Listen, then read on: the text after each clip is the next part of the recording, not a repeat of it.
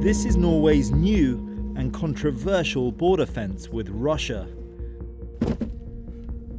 It's being built next to the Storskog border point, the northernmost road crossing into Europe's Schengen passport free zone. Last year, around 5,500 asylum seekers, many from Syria, crossed from Russia into Norway here, taking the so called Arctic route into Europe. The flow of refugees has since come to a halt, but officials say the 200 metre long fence will help to secure the checkpoint in the event of any future mass migration.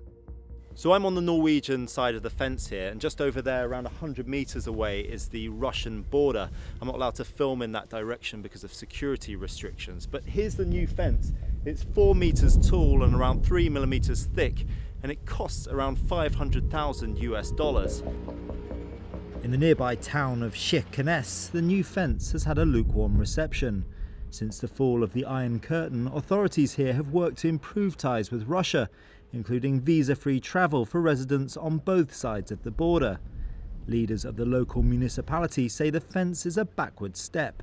It's really uh, embarrassing for us uh, as a local so near Russia. We, we want to build bridges to Russia, not build fences. But what do Russians make of the fence? These market traders cross into Kirkenes every week to sell Russian goods to Norwegians and tourists. If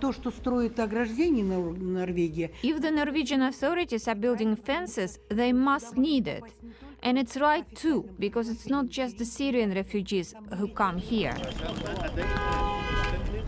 Norway's capital, Oslo, is nearly 2,000 kilometres away from the border crossing, but it was here that the decision to build the fence was approved. According to the State Secretary for the Ministry of Justice, the debate about the fence has become a storm in a teacup. We have a very good working dialogue with the Russian authorities and you also have to remember that uh, the fence on the Russian side is, uh, is much longer. If I remember correctly, 200 kilometers, which means that uh, this is uh, nothing compared to what we already have. The fence is due for completion by the end of this month, but in the last week a setback for construction. Border officials say a section of the barrier has been erected 10 centimetres too close to Russia will have to be dug up and built again. Howard Johnson, BBC News, on the Norway Russia border.